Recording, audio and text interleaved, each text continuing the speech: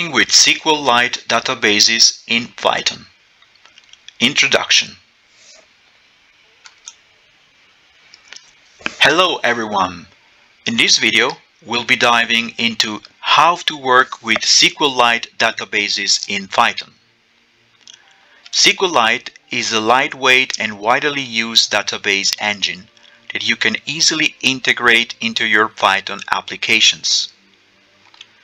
We'll work through a practical example using Python code to connect to a SQLite database and retrieve some data. Our AI Digit Fox network instructor will then break down the Python code step by step. For this video demonstration, we are going to use the SQL Client software application and database administration tool called dbeaver. Let's get started. Quick introduction to dbeaver. dbeaver is a SQL client software application and a database administration tool. For relational databases, it uses the JDBC Application Programming Interface API to interact with databases via a DBC driver. For other databases, NoSQL, it uses proprietary database drivers. It provides a plugin architecture based on the Eclipse plugins architecture that allows users to modify much of the application's behavior to provide database-specific functionality or features that are database independent. This is a desktop application written in Java and based on Eclipse platform. The Community Edition CE of dbeaver is a free and open source software that is distributed under the Apache license. A closed source enterprise edition of dbeaver is distributed under a commercial license. Written in Java. Operating system, cross-platform, platform Java, available in multilingual, type, SQL database administration tool, license Apache license, website dbeaver.io.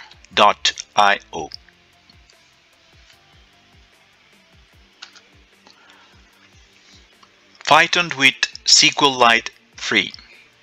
SQLite 3 comes integrated in Python. To use it on Visual Studio Code, we must first import the library called import SQLite 3. Import SQLite 3. Create the database or connect if it exists. Con equals SQLite 3 dot connect. The example.db in our case will be the path where the test database is directed to on our computer. It is accessed by right-clicking on the database in dbeaver, clicking on Edit Connection and copying where it says path. But we are going to demonstrate it anyway here on this video so stay tuned. The connector element, usually con, is the connection to the database we want to use. We will not see it in this video. But if we were to connect to a real database with credentials, we must pass the credentials to this element when establishing the connection. The connector is like a cable that connects Python to our database, but does not allow us to interact with it. For that, we use the cursor. Create a cursor. C equal con.cursor parentheses. The cursor is the element with which we interact with the database. With the cursor, we can execute code in SQL as if we were in a script inside the database. With the cursor, we can also bring all the information of the database to work in, in Python, although it is not recommended. Note, the finally command ensures that con.close parenthesis is executed anyway.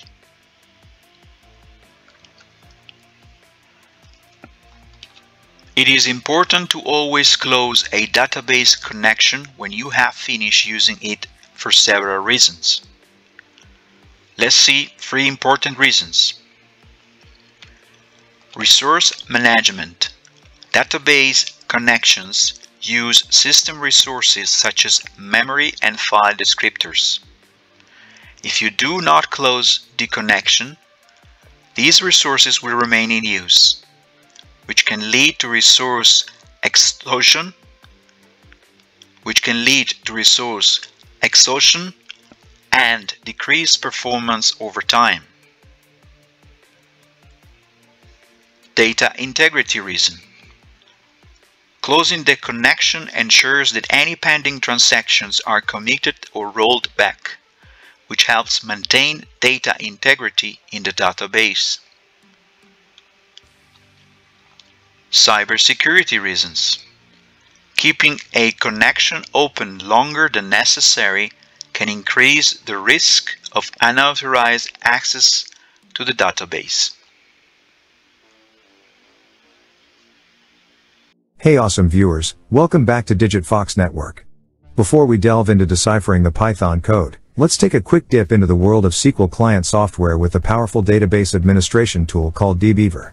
On the left side, You'll find the dbeaver sample database, SQLite, which serves as our testing and exercise ground. Below, you can explore various tables like album, artist, customer, and more.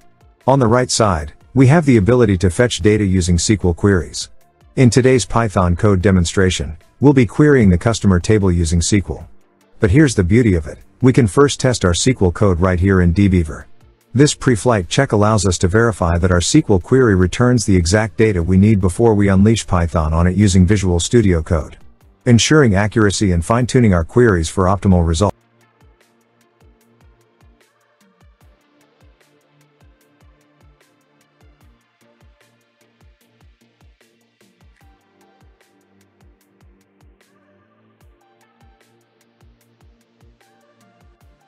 Here's the Python code we'll be explaining today. Let's break it down step by step. 1. Importing the SQLite library.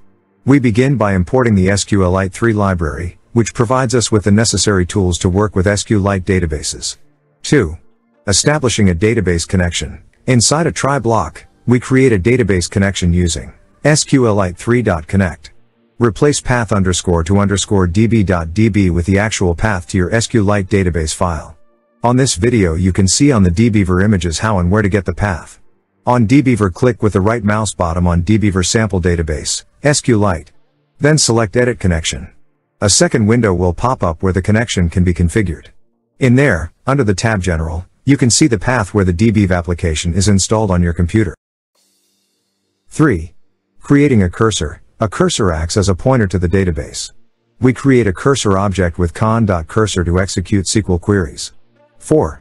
Executing a SQL query. We define an SQL query, select from customer limit 16, which selects all rows from a table named customer but limits the result to 16 rows. The query is executed using cursor.execute, SQL underscore query. 5. Fetching and printing data. We loop through the result set using a for loop with cursor. Inside the loop, we print each line, which represents a row from the customer table. 6. Error handling. We have an except block to handle exceptions. If there's a problem with the connection or the query, print bad connection. 7. Closing the database connection. In the finally block, we ensure that the database connection is closed using con.close. Beware, this step is very important to release resources and maintain data integrity.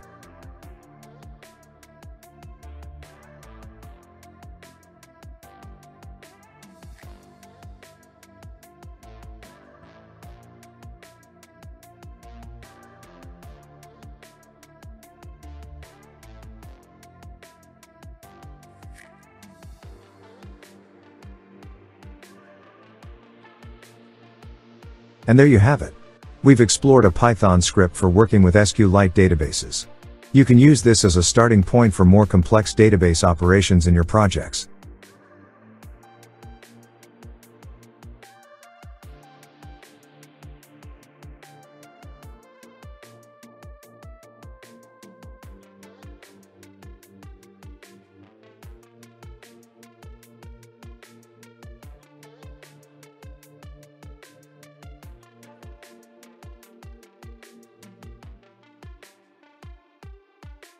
If you found this video helpful, don't forget to comment, like, share and subscribe for more Python programming tutorials. Thanks for watching. Stay tuned. I am your Digit Fox Network virtual instructor, happy to serve you.